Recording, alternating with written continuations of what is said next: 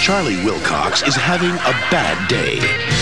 But help is on the way, and his name is Shep Ramsey, I'm here to rent the apartment. Suburban Commando. Honey, it's for you. It's Hulk Hogan like you've never seen him before. Skateboarding, child raising, crime fighting. It's the mailman. Charlie Wilcox has just discovered the solution for all life's problems. Leave a message or take a seat. I said take a seat. Funny. That's real funny. Sometimes I just get carried away. I'm just your landlord.